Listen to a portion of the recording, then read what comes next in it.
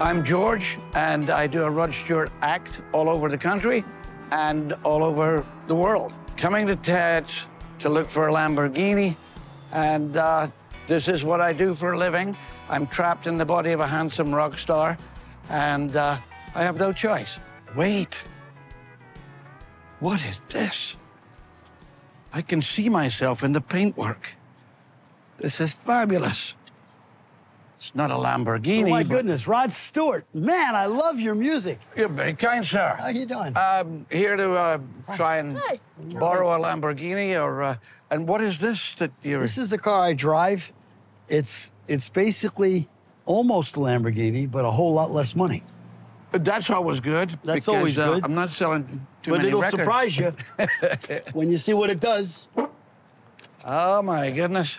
Ted showed us a gold Mustang, and uh, because I'd mentioned Lamborghini, he showed me that it has Lamborghini doors. They open and then they fly up like gull wings. It's funny because he said he wanted a Lamborghini, but he was checking out my Mustang, which happens to have Lamborghini doors.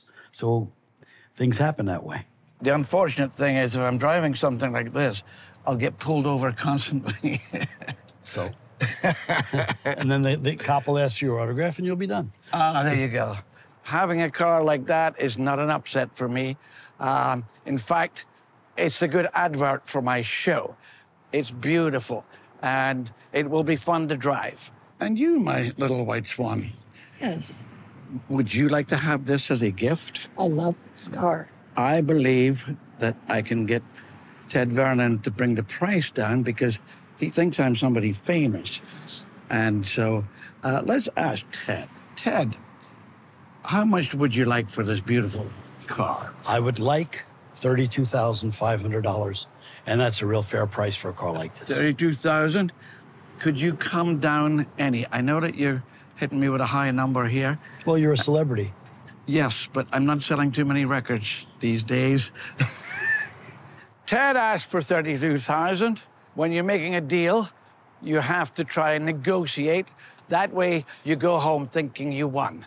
Would you take 28? Where'd you find that number? Uh, I've seen, um, I haven't seen. No, you haven't seen anything like this. So, um, let, let's meet in the middle. 29. I'll tell you what, I don't want to go back and forth to you. I like you too much. 30 grand, we're done. 30 grand.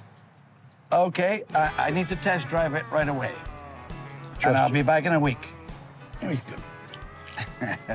this will be a beautiful car to complete my rock star image.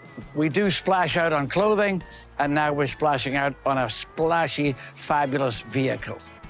There's no better way to deal with a car dealership than to deal with the dealer. There's no mess, no fuss around Ted. Well, that's the car I drove to work in. That's my driver for the week. Now I got to pick another toy. It's part of the fun of this business.